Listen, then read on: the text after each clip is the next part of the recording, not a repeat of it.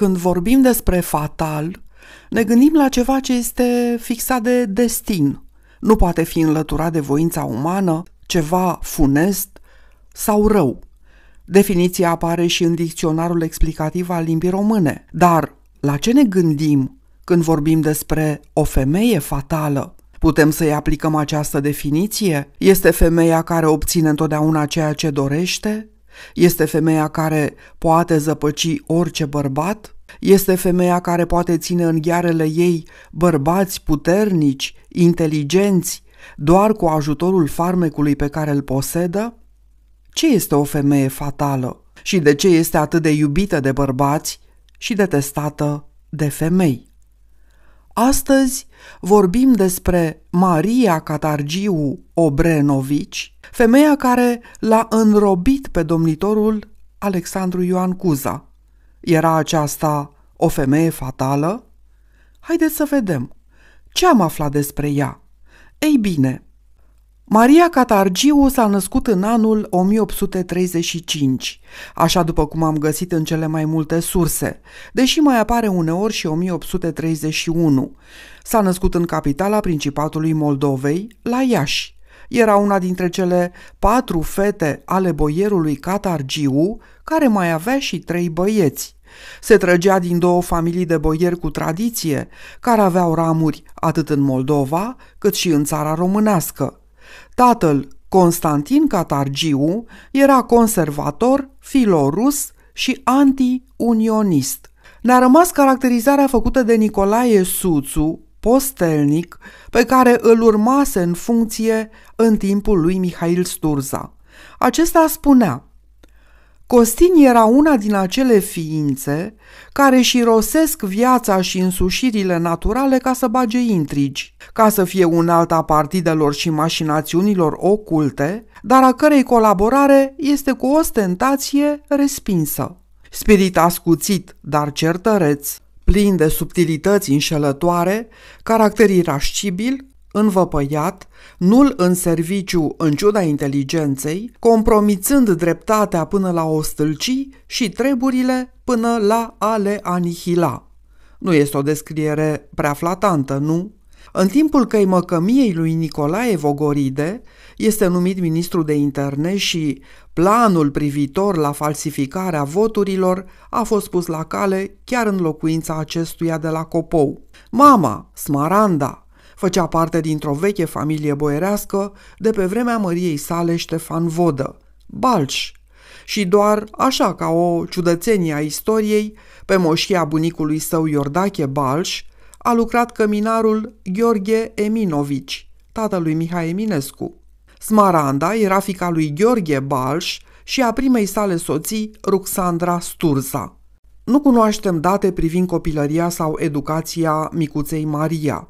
Ca orice copil al timpului său, probabil a făcut primii ani de școală acasă, cu guvernante și profesori particulari, pe care cu siguranță postelnicul Costin Catargiu i-a angajat pentru cei șapte copii ai săi.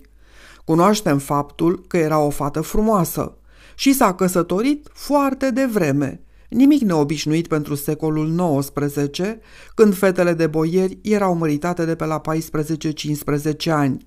Nu se știe numele primului soț, care a fost un general sârb. Știm doar că din această căsătorie a rezultat un băiat, Rudi, născut în anul 1853, care i-a purtat numele întrucât tatăl său nu l-a recunoscut.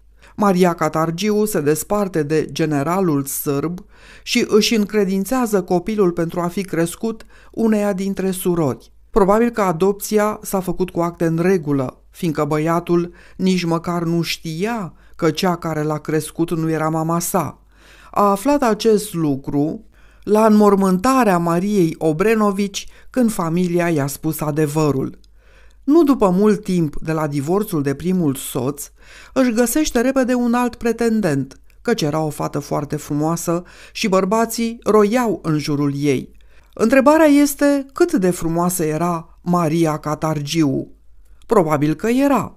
Avea un trup mlădios, păr negru, tenul alb, ochi albaștri cu o privire care electriza bărbații, Era categoric o femeie cochetă care știa să profite de toate farmecele femeiești cu care o înzestrase natura. Nu era cu siguranță singura femeie frumoasă și nici cea mai frumoasă.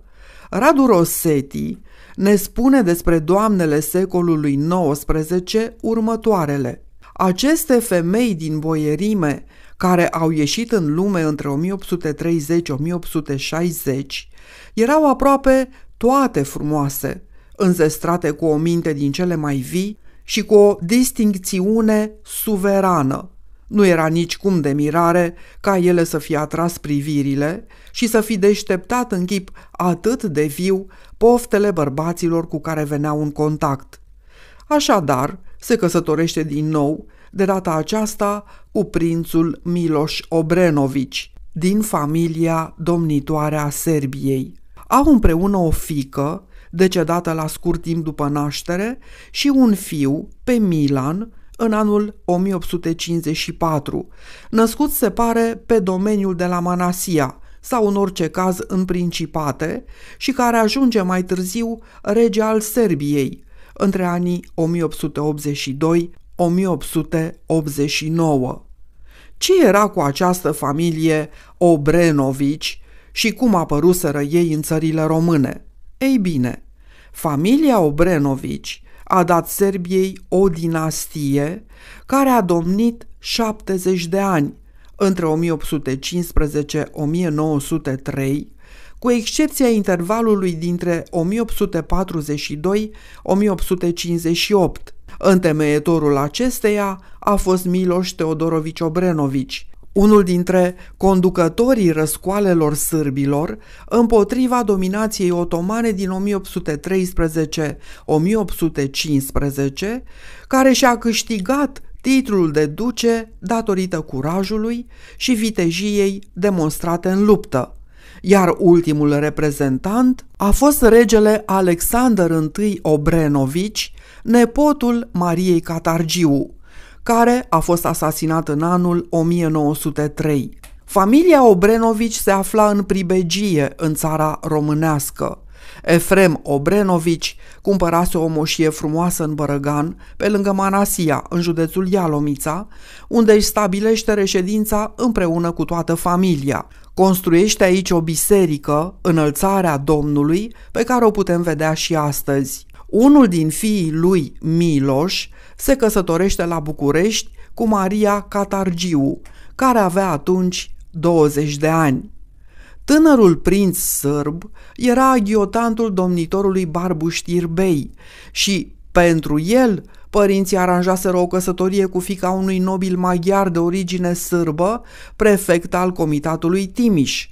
Doar că frumoasa Maria Catargiu îi furase deja inima și după o ușoară împotrivire, mai ales din partea mamei sale, primește totuși permisiunea de a se căsători cu ea. Un fapt mai puțin cunoscut este acela că în timpul discuțiilor din ianuarie 1859 cu privire la unirea principatelor și alegerea unui domn, a existat și varianta ca Miloș Obrenovici să fie propus de liderii Partidului Popular candidat pentru domnia țării românești, în situația în care nu ar fi fost ales ca domn comun Alexandru Ioan Cuza. Cum ar fi fost? Dar nici această căsătorie nu a funcționat și Maria Catargiu Obrenovici, după numele pe care îl folosea după căsătorie, divorțează în anul 1855 și din corespondența familiei Obrenovici reiese faptul că această despărțire s-a produs oarecum din vina ambilor soți. Deși Maria a cerut divorțul, pentru că se pare că tânărul prinț sârb nu era imun la farmecele domnițelor și doamnelor. Acesta era mare amator de jocuri de noroc, petreceri și alte distracții cu care își pierdeau vremea bărbații din timpul său. Relațiile dintre soți au fost deteriorate iremediabil și gurile rele spun că nici Maria nu avea tocmai un comportament dincolo de orice bănuială. În final se despart. Deși între cei doi a existat întotdeauna o atracție și chiar discuții serioase despre împăcare în anul 1860, când Maria Catargiu, însoțită de mama sa și de micul Milan, se mută practic în Serbia și locuiesc cu Miloș, care ajunsese între timp rege.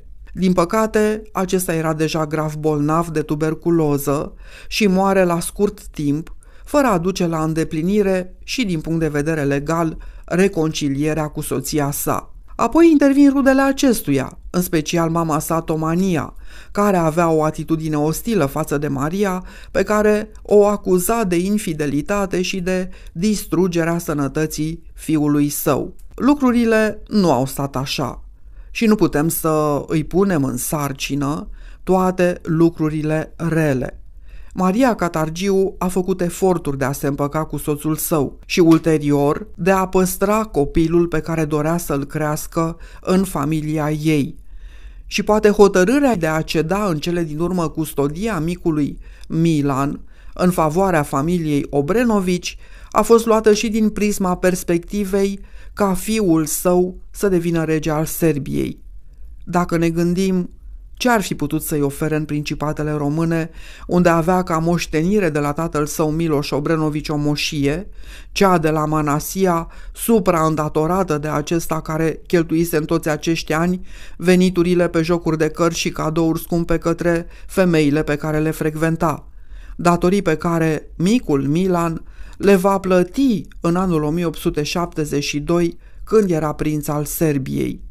Așadar, Maria Catargiu Obrenovici cedează custodia băiatului și vom vedea mai târziu că existau anumite calcule dinastice care forțau familia Obrenovici să facă presiuni pentru a-l păstra pe Milan și se întoarce în principate. Are o mulțime de aventuri cu bărbați care aveau o situație materială foarte bună, printre care și cu Cezar Librecht fost ofițer belgian care se stabilise în Principatul Moldovei după 1848.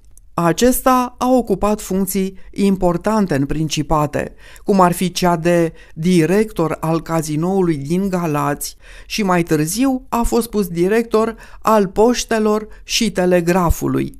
Este unul dintre cei mai apropiați colaboratori ai lui Cuza, dar profită de prietenia acestuia pentru a crea în jurul lui o rețea de personaje corupte, controlând telegraful, avea acces la cea mai mare parte din corespondența purtată pe teritoriul principatelor, ocazie cu care creează un serviciu secret pe care îl pune la dispoziția domnitorului, dar de care profită și el din plin. Există chiar un episod cu un răspuns al lui Mihail Cogălnicianu la o scrisoare a complotiștilor, răspuns interceptat de Librecht și prezentat apoi lui Cuza. Dar despre asta poate vom vorbi cândva în viitor. După abdicarea lui Cuza, Cezar Librecht este judecat pentru delapidare, condamnat la 10 ani de temniță și averea îi este sechestrată.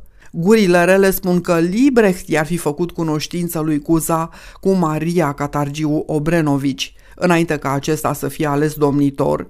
Și, deși la început părea să fie o aventură trecătoare, s-a dovedit cu timpul a fi o mare pasiune, o dragoste fatală. Cuza nu îi putea refuza aproape nimic, făcea chiar lucruri nebunești pentru a o păstra în imediata apropiere cumpără în apropierea Palatului Domnesc din București o casă în strada Biserica Amzei pentru o sumă destul de importanță la acea vreme, pe care o renovează și mobilează cu cele mai moderne și luxoase obiecte de mobilier aduse de la Paris, obiecte de artă de cea mai bună calitate, doar pentru a o mulțumi pe frumoasa și nestatornica Maria.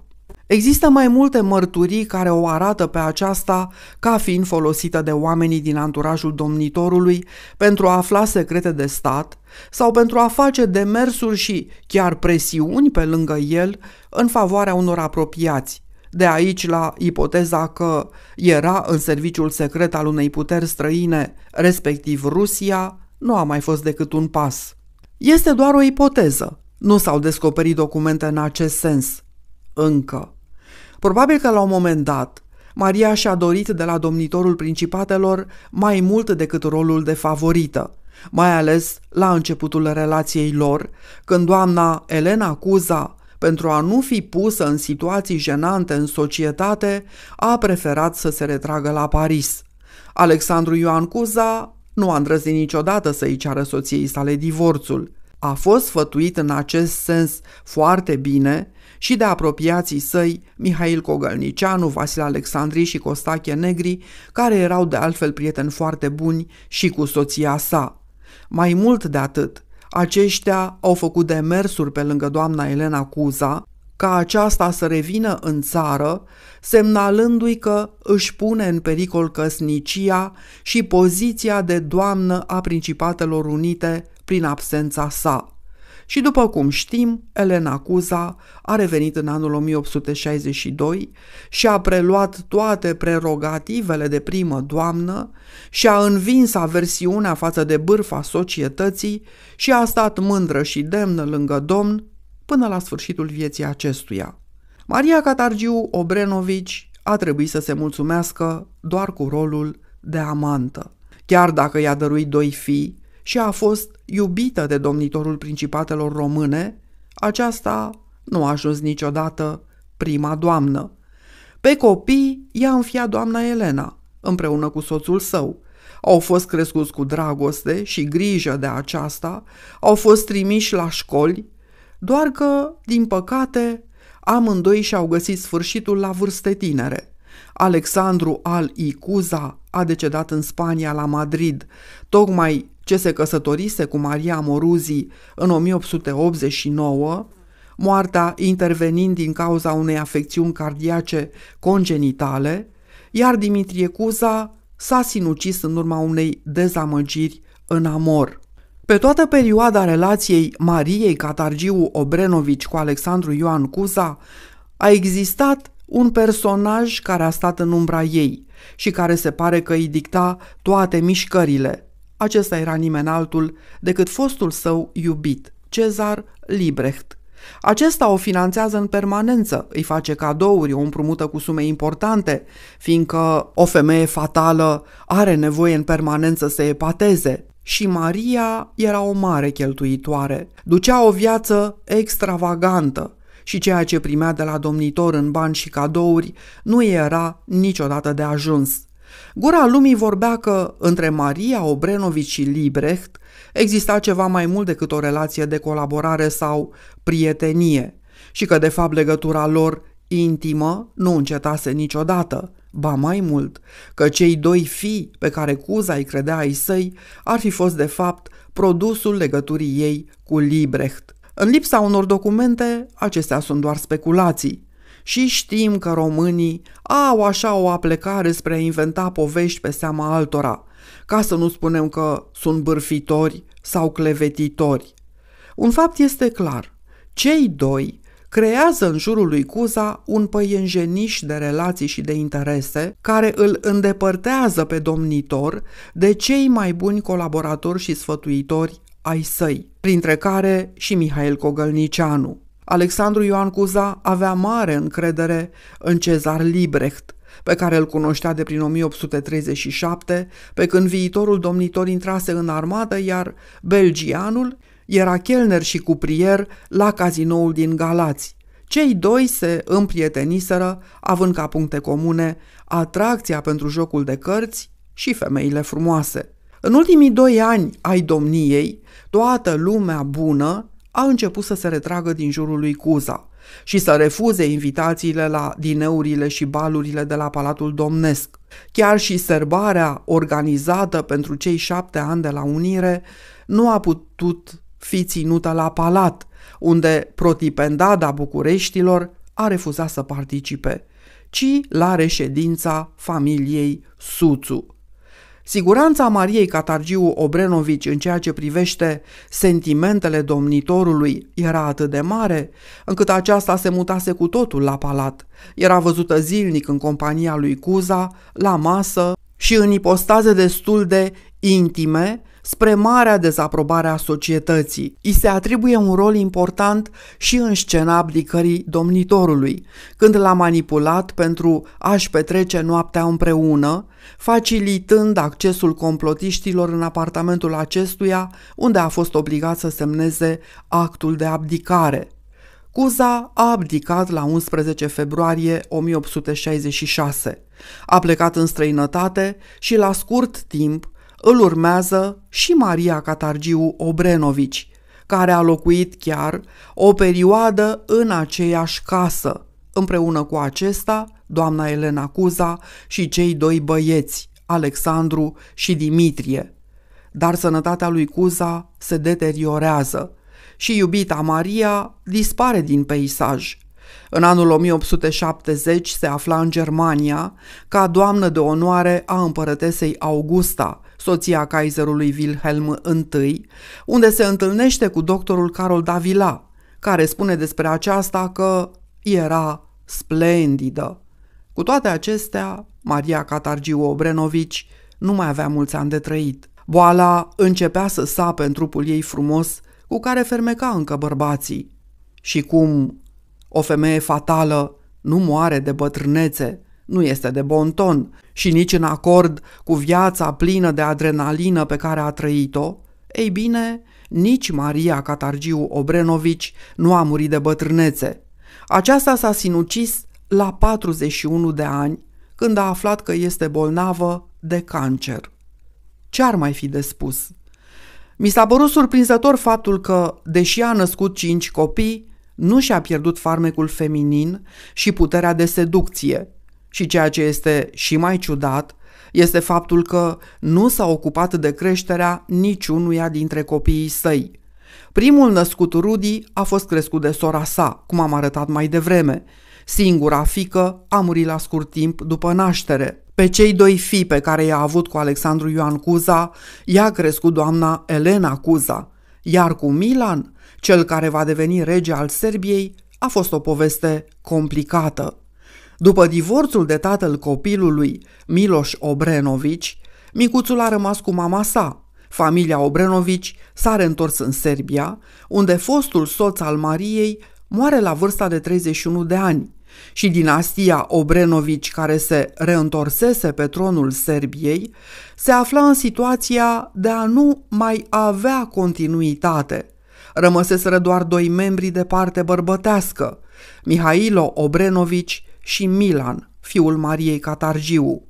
Pentru a rezolva această problemă, Mihailo Obrenovici, rege al Serbiei, îl înfiază pe nepotul său de frate, Milan, și micuțul este luat de la mama sa și crescut în Serbia. Povestea Mariei Catargiu Obrenovici poate părea singulară în epocă, dar nu este așa. Secolul XIX și nu numai abundă în povești de iubire, căsătorii multiple, chiar între rude apropiate, amantlâcuri și amoruri necuvincioase și acestea nu sunt neapărat specifice societății românești. Istoricul și memorialistul Radu Rosetti spune în volumul său de amintiri că boierimea moldovenească de la mijlocul secolului XIX avea două îndeletniciri de căpetenie, intrigile politice și plăcerile. Prin aceste de pe urmă se înțelege că, la fel cu ceea ce s-a petrecut pretutindeni din timpurile cele mai vechi până astăzi, în orice societate de oameni care n-au de lucru și sunt bogați, dragostea a jucat un rol de căpetenie. Mult vorbitul sau de corupțiunea societății boierești de altă dată. Pretind că această societate într-un nimic nu a fost mai coruptă decât în altele aristocrații din țările apusene și aristocrația banului de astăzi. La noi s-au întâmplat întocmai acelea scandaluri ca aiurea, cu singura deosebire că aici au fost mai răsunătoare decât aiurea, fiindcă din pricina educației noastre mai primitive, mai rudimentare, se ascundeau mai puțin. În două cuvinte, fiindcă era mai puțină ipocrizie. Într-un nimica nu era moldovanca din boierime mai vițioasă, mai coruptă decât doamna din înalta aristocrație apuseană. Nu păcătuia mai des. nici mai tare, dar își ascundea păcatul cu neasemănat mai puțină artă. Atât pentru astăzi, dragii mei.